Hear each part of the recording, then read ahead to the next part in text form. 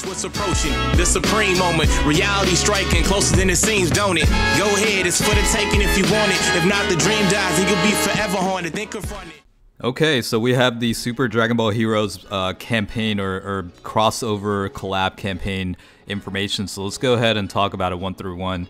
Um, a lot of uh, stuff I would expect, and of course, uh, we pretty much have an indication of what to expect on the banners. I'm sure a lot of people are excited about it, so hopefully it'll be a good celebration overall. You know, kind of kind of get closer to uh, year end, and things will start ramping up with you know the double rates banner coming up potentially, and then uh, a new uh, transforming Bojack unit Zangya, and then we'll have you know like the the year end stuff, and then step up banners, and then six year anniversary for JP. So a lot of stuff are coming up. So maybe this will be the beginning of uh, you know the momentum being shifted a little bit uh, compared to some of the other prior lackluster content. So hopefully that's the indication of where we're going. All right, so I know I kind of dragged out a little bit. Let's talk about the uh, collab uh, commemorative campaign. So let's go through the uh, schedule here. In terms of like the uh, the stone count, I guess it's you know stuff like um, you know 10 dragon stones given out through missions or whatever. Uh, they're gonna have a collab uh, Twitter campaign. I, I presume with the ability to you know get a dragon stone out of every retweet daily or whatever the case is and stuff like that. So uh, I think that starts officially on the 19th at 12 p.m. for JP, um, and we'll uh, we'll kind of see you know what the time zone impact is on that. So, of course, we'll get logins. Um, you know, your typical stones and, and various rewards come out of that. We have missions. I'll cover that next after this. Um, it'll be going on till you know December 8th is uh, when the uh, campaign ends for this one.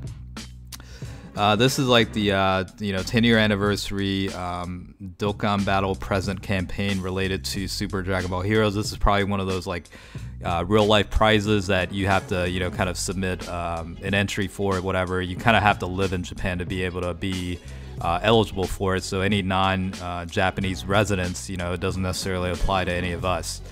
Uh, of course, this is the uh, banner. You've got the uh, Super Saiyan 4 Vegito and, and also the Broly and Gohan and, and whatnot. So, you know, you can pretty much finally build a Super Saiyan 4 team with the uh, available units. And luckily, they do have like the, um, you know, discounted stone cells in game where uh, it's going on for 10 days. It looks like 1119 through 1129. So, you know, hopefully there's some uh, good deals going on with that one. We'll have to see.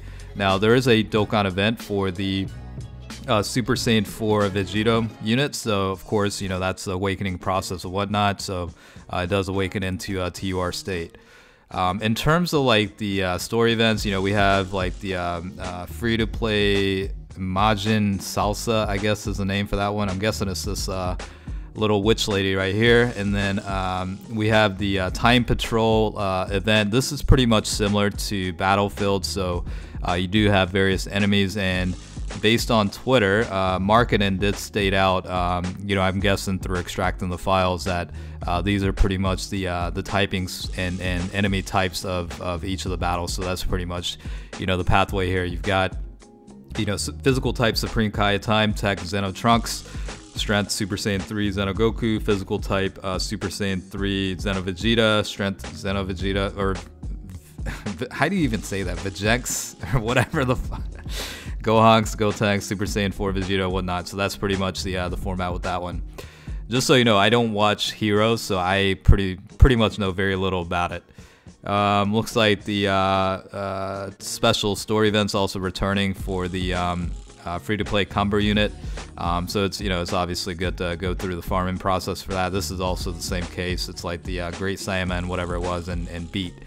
All right, so that's pretty much it for the schedule. Very little information, but it's you know it's enough to get us going. You know what I mean? So hopefully the uh, the stone prices are pretty good with the uh, discounts. And then on top of that, you know it'd be nice if they did stuff like they did in the past, where it's like you know discounted multis type deal. I don't know if JP will necessarily get it. I think I I remember seeing Talon talking about it. Um, on Twitter not too long ago, but we'll see. I mean, there's probably going to be discrepancies between the two versions, you know, JP and Global, so we'll have to find out about that. But uh, let's go ahead and cover the missions, though. I, I think it's a little bit light. Uh, 16 Dragonstones total is, I think, what you can get out of all the missions. Um, running through it by one by one, the limited missions are just clear a story event three times. Um, five times, and 10 times. It does say SDBH, so my recommendation is to just play it safe and just run through the actual uh, Super Dragon Ball Heroes related story events instead of just going through a generic one. You'll probably be fine, but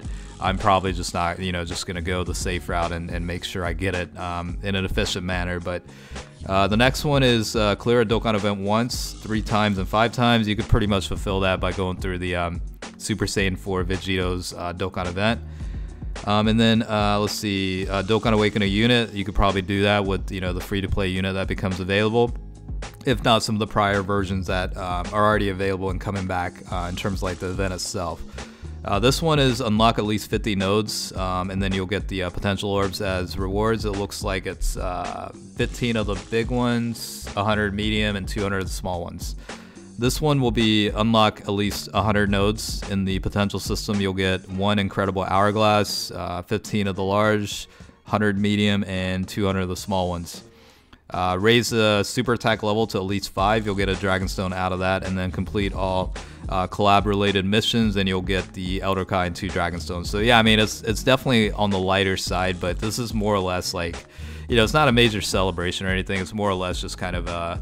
Uh, I wouldn't say filler necessarily because it is kind of celebrated to a pretty pretty big degree, but you, you get the point, right? So that's pretty much all I have for you in terms of like the uh, information. So a lot of the stuff, um, I'm actually surprised we didn't get some sort of Extreme Z-Awakening. It would have been nice to see one or two happen, um, specifically with like you know crossover category units applicable. You know that would have been kind of nice, like just just layer in layer in at least one um, EZA, you know, for some of those outdated units like Xeno Trunks or whatever. You know that would have been nice, but you know, I guess you know they did decide ultimately decided not to do it. So we'll, we'll you know we'll, we'll have to you know it is what it is. We'll have to you know we'll have to you know forget about it, I guess. But that's pretty much the extent of information I have. So hopefully you guys found it helpful. As always, thanks for watching.